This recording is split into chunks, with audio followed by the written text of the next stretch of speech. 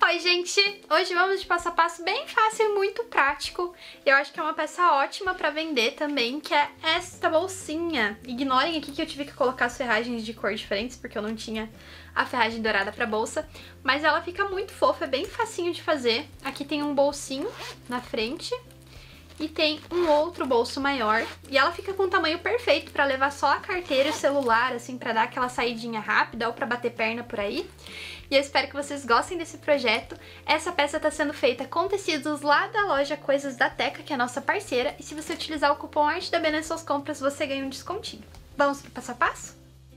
Bom, pessoal, para fazer a nossa peça, a gente vai precisar cortar no tecido principal e na manta a medida de 22 por 18 e também duas vezes no tecido de forro. E no tecido de forro, eu cortei aqui duas vezes na medida de 18 por 15. Esse aqui vai ser o forro do nosso bolso. E além disso, a gente também vai precisar de dois zíperes, mais ou menos 22 centímetros, dois ilhoses. Esse ilhós que eu tô usando é o número zero, é aquele que tem um centímetro aqui na parte interna, mas se você não tiver balancinho e não tiver como aplicar ilhós, você pode substituir isso aqui por duas alcinhas de tecido pequenas. A minha alça eu já deixei pronta com dois mosquetões, mas você pode embutir a alça na peça, conforme eu for dando passo a passo eu vou falando pra vocês. E a gente também vai precisar do molde. Esse moldezinho aqui vai estar tá na descrição do vídeo em PDF pra vocês. Eu vou começar pegando aqui a parte da frente da minha bolsa e vou fazer o corte do meu primeiro bolso. E pra fazer isso eu vou marcar 14 centímetros contando da base e vou cortar. E aí eu vou costurar o meu zíper bem aqui, utilizando esse forro menor. E para fixar o zíper, eu primeiro vou colocar ele virado direito com direito aqui com o tecido, vou passar uma costura primeiro para fixar o zíper, em seguida eu sobreponho aqui o meu tecido de forro e passo a costura novamente.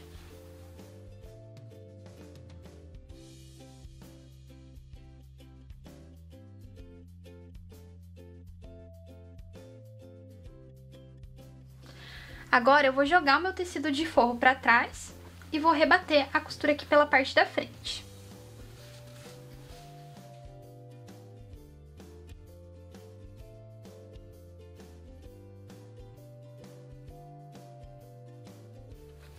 Agora eu vou pegar aqui o meu outro tecido, esse menorzinho, e vou posicionar também o zíper alinhado aqui com o topo. E vou fazer a mesma coisa, passar a primeira costura para fixar o zíper, depois sobrepor o forro. A única diferença é que agora eu não vou rebater a costura pelo lado de fora.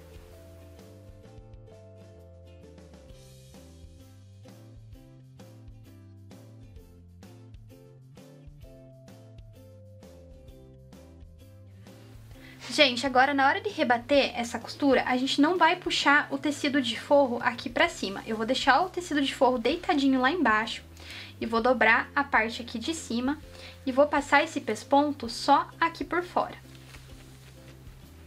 Sem pegar o tecido de forro.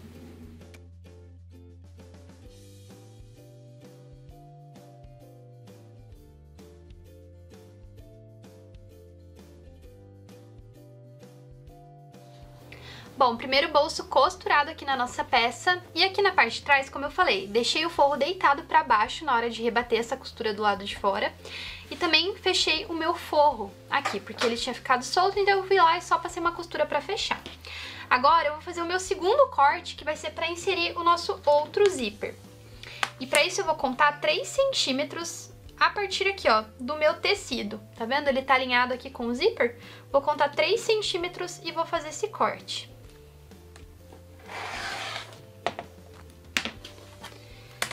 E aí vou costurar o meu zíper aqui, mais ou menos da mesma forma que eu fiz nesse primeiro bolso. A diferença é que eu vou utilizar só um dos forros. Então, esse meu forro, ele vai ter um corte aqui também para poder é, suprir os dois lados, né? Como se fosse aberto assim. Porque o meu forro desse bolso, ele vai ficar virado pro lado do direito. Vai funcionar mais ou menos assim, ó. Nosso forro vai ficar assim na parte de dentro. Mas conforme eu for costurando, vocês vão entender.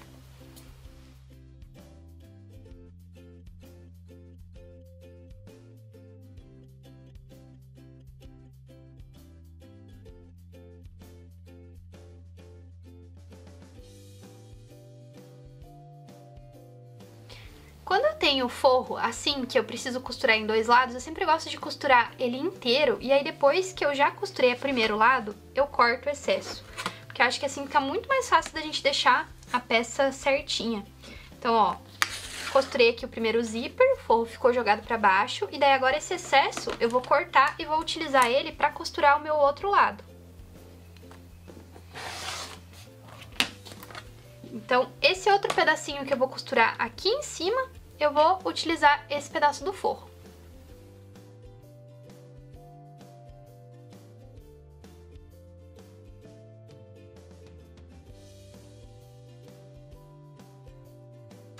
E na hora de rebater esse pedacinho aqui, pode jogar pra cima o forro e a parte do tecido principal.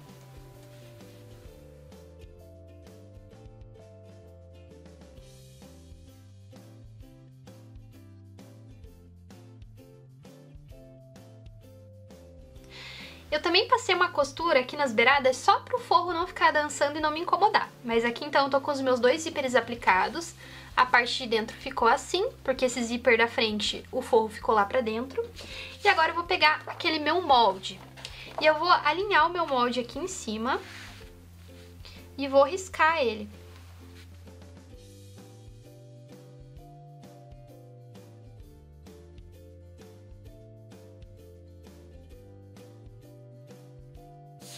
Prontinho. Risco do molde feito, agora a gente vai colocar os cursores aqui na nossa peça. Então vai lá, insere os teus dois cursores e depois que eles estiverem aplicados, e se você for utilizar uma alça de tecido, não tiver o, o ilhós, você também vai posicionar ela nesse momento. Você vai se guiar aqui pelo, é, pela parte onde você riscou o molde, vai posicionar as tuas alcinhas aqui no topo da peça, antes de fazer essa costura.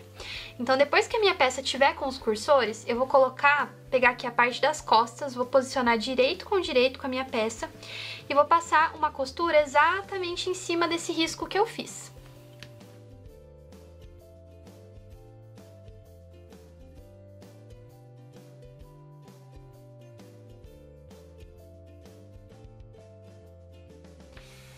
Prontinho, gente. Costuramos então a primeira parte aqui da nossa peça.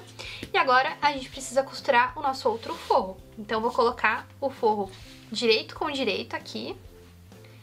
E vou passar a costura usando é a primeira costura como base. Então, olha, a gente vai virar aqui pro lado da manta, você vai enxergar por onde você costurou e vai passar a costura exatamente em cima da anterior. A diferença é que eu vou deixar uma aberturinha aqui no forro, na parte de baixo, para poder desvirar minha peça depois.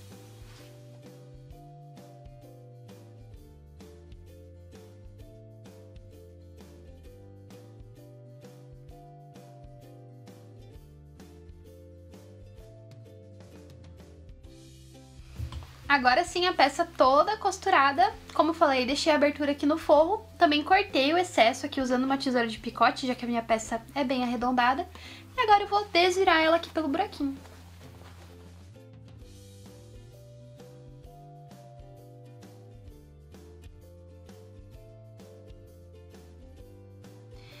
Ó, quando a gente desvirar, ela vai estar tá aqui pelo lado do forro. E se você quiser aproveitar para já fazer um pontinho à mão aqui, ou passar uma colinha para fechar esse forro, aproveita e fecha já. E aí depois a gente vai abrir pelo zíper e desvirar a peça pro lado direito. E aí eu vou levar minha peça pro ferro, vou deixar ela bem retinha, com os cantinhos aqui bem certinhos, pra daí poder posicionar os meus ilhoses. Ó, vai ajeitando assim os cantinhos. Então, gente, desvirei a peça, passei no ferro e também já posicionei aqui o meu primeiro ilhós e vou colocar o segundo aqui no outro cantinho. E como eu disse, se você não tiver como aplicar, faz uma alcinha de tecido aqui em cima, que aí você pode também encaixar o teu mosquetão, ou se você quiser, naquela parte lá que eu falei pra posicionar a alcinha, você pode posicionar a alça grande também, se você quiser colocar ela embutida na sua peça, que também vai dar certo. E, gente, aqui eu uso a própria matriz pra furar o buraco aqui pro meu ilhós.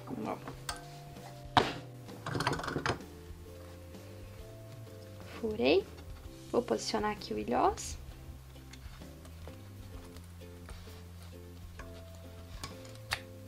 E vou fechar ele. Prontinho. Bom, Bom, gente, depois de posicionar a alça, é assim que fica a nossa bolsinha, ela fica muito fofa. Essa alça eu já eu não quis ensinar agora durante o vídeo, porque eu achei que ia ficar muito enrolado, mas se vocês quiserem eu posso gravar um vídeo separado só explicando como fazer a alça, se vocês ainda não souberem. Mas então, esse é o resultado final da peça. Espero que vocês tenham gostado. Se você gostou, se inscreva aqui no canal e também compartilha com as suas amigas. Tchau e até a próxima!